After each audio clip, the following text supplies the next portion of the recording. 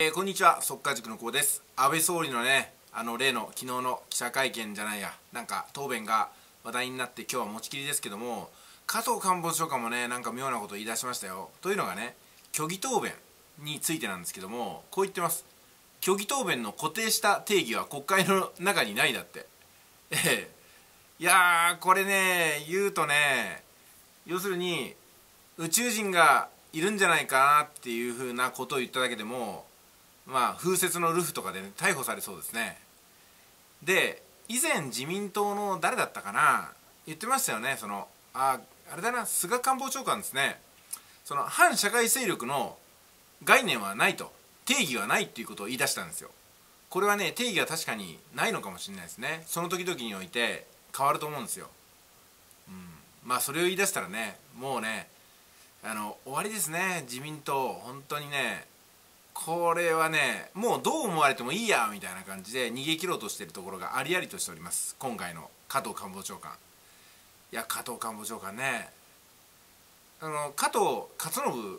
さんですよねお名前は。実は私のね住まいのそばに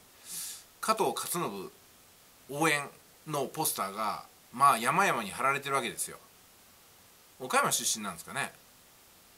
いや若くてね正義感に燃えるいい笑顔でした。しかし今どす黒い単なる権力政治家になっちゃってますね。こういうふうに記事は並んでます。加藤官房長官虚偽答弁の固定した定義は国会の中にないということでまあ安倍総理がどんな嘘を言っても国会の中でどんなね詭弁を弄しても人を騙してもそれは罪には問えないよって。だって虚偽答弁っていう概念がないんだもん。だって。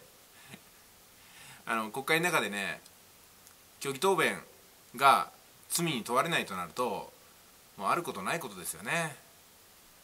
いつからこんな世の中になっちゃったんでしょうか。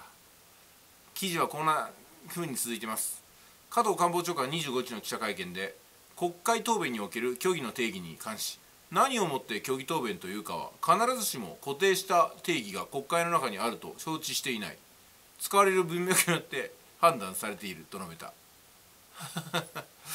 加藤氏は例示として広辞苑を引きながら真実でないことまた真実のように見せかけること嘘偽り空言といった言葉が並んでいると紹介したと。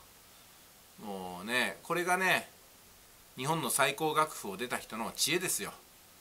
でバカ言うなって話じゃないですか。でもこれで通そうとしてるらしいですね。本当にねもうどう思われてもいいというふうなね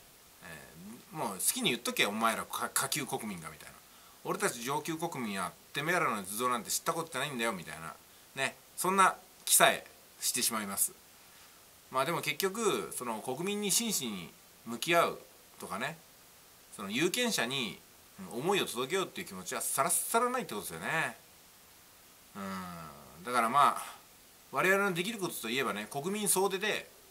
自民党の傀儡になるというね。要するにお友達政権のねお友達になることしか残されてないということでなんともファシズムな共産主義的な考えに陥るわけですよね。だから自民党の考えとピタッと一致する人はまあ忖度してもらえると。いろいろと気を使ってもらえるけども自民党の矛盾を指摘する人に関しましてはまあ矛盾の定義はないよね。それはあなたの一意見だよねってことで押し切られちゃうみたいですね。こんなことでいいんでしょうか。加藤勝信。まあね安倍総理菅総理西村か西村経済担当大臣その他誰がいまして赤羽国土交通省うんでこの加藤官房長官河井克行河井案里要するに現役だろうと、うん、今席を退いていようと自民党の閣僚には このね盗賊しかいないというね制度化された盗賊それが自民党。えー、国会議員ということでよろしいんじゃないでしょうか、うん、まあでもどっかにね真の国会議員はいると思うんですけどもね自民党の中にでさえ。いると思いますけどもそういうふうなね国民目線に立って権力者に立ち向かっていくような国会議員自民党の国会議員は、まあ、中堅以下に押しやられてまあ何て言いますかねガス抜きに使われてるってとこですかね。悩ましいですね。結局あれですかね最後はこういうふうな権力とか弁舌によって私たちが言いくるめられてるとするとものを言うのはまあ暴力ってことになっちゃうかもしれないですね。いわゆる行き場を失ったいわゆるね無敵無敵な人何を失ってもいいやって自暴自棄な人が今の調子で増えていくと死なばもろともみたいなね考えの人も出てこないとも言えないですよね。で今まではそれがねあの介護施設の中とかあ事件ありましたよね。ああいったところに、ううっせきしたものが、ね、もしかしたら向かっていたのかもしれないですし、うん、秋葉原殺傷事件みたいにその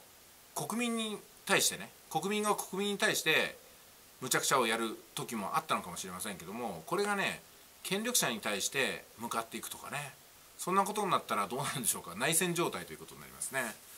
まあ何が起きるんでしょうか。本当に無敵な人がね今なんとか団っていうのを作っているみたいですけども義勇軍ですか。なんかそういうのを作って集まっているみたいですけどもこの人たちがもしかしたら、うん、なんか素手ではなくてね別の方法を用いて、うん、向かっていくかもしれないなと思うとなんかねこんなねことをしていたら結局は痛い目を見るんじゃないかなと思っちゃいますよね。どうなるんですかねこんなことで。加藤官房長官。虚偽答弁の固定した定義は国会の中にないと。んなこと言い出したらもう終わりですね。